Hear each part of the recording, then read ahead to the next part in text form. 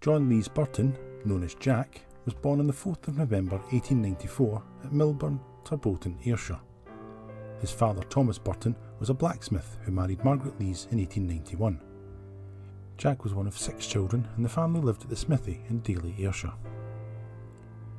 Jack was educated at Girvan Higher Grade School and passed from there to Glasgow University. He was in the second year of his arts course when war broke out, and after training with the Officers Training Corps, he was granted a commission in the Black Watch and went to the Western Front in December 1915.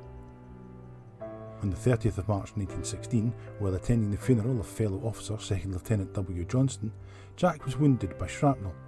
His parents were notified by telegram, and the battalion chaplain wrote to them giving further details.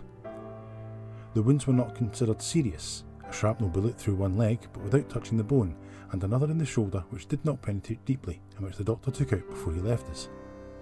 He was making a most capable and promising officer, full of pluck and always so bright that we all miss him very much indeed, but at least we can all be thankful that his injuries are not worse.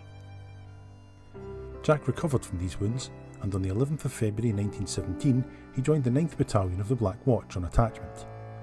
On the night of the 26th of April 1917, the 9th Black Watch took part in an attack on a position known as Cavalry Farm.